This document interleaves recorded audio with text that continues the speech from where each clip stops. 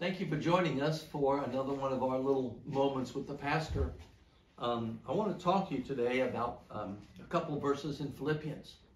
Paul, when he's talking about his goal to uh, to obtain the righteousness of Christ, what Luther and theologians call an alien righteousness, the righteousness of Christ given to us, in order that he might attain to the resurrection of the dead. He says, Now, I haven't gotten there already. I'm still alive, and so I haven't become perfect.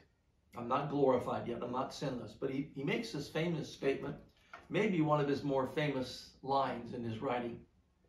But this one thing I do, forgetting what lies behind and reaching forward for what lies ahead, I press on toward the goal for the prize of the upward call of God in Christ Jesus. Let those of us who are mature think this way. And if anything you think otherwise, God will reveal that also to you. Only let us hold true to what we have already obtained.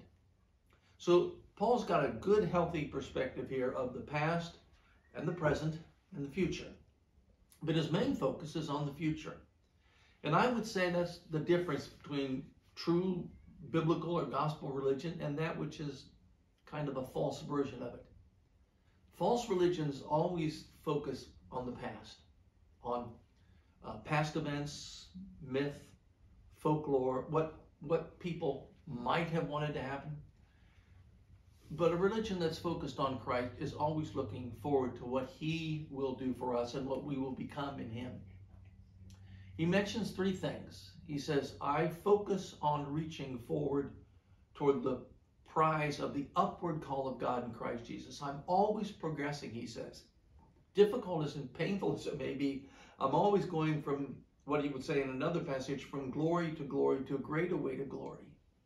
Um, and if I'm thinking wrongly, if I'm not thinking maturely, and young people tend to uh, lick their wounds and uh, be discouraged and focus on the past, he said, God will reveal that to me. He'll, he'll show me how that's holding me back. But he says, I do hold on to what I have obtained, what God has done to me, this basis I have in Christ, both as um, a theologian of the cross and as a Christian standing in the righteousness of Christ, I build on that and the things that God's been doing in my life.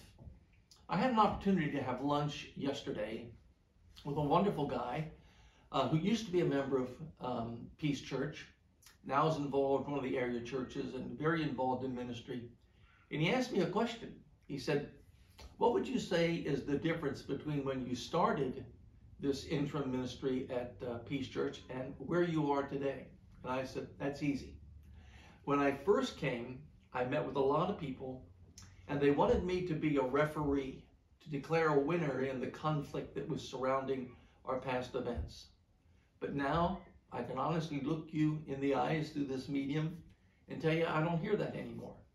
What I hear consistently from our members, from our staff, from our elders, from our pastors, is that we're ready to move forward. We're looking to the next great thing God's going to do in our life as He brings us a new pastor, as we turn the corner from what we're struggling with in the past to what we're looking for and hoping for in the future.